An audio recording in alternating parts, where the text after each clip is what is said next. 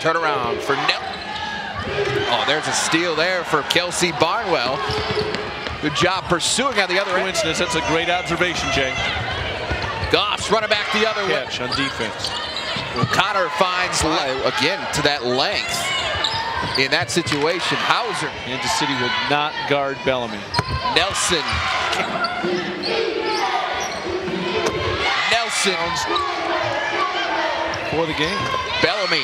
Nello draws O'Connor now, and there's her first points of the night. Selection this year.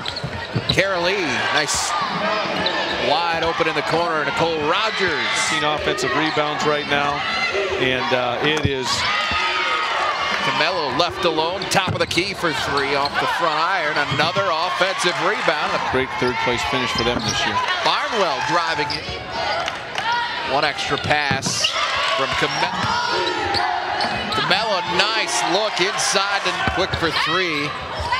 Left it well short. Rebound chased down by Goss outside the left. Buying into and understanding the scouting report.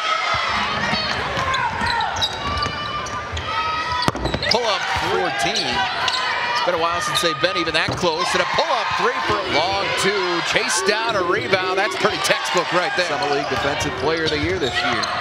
Hill turns around all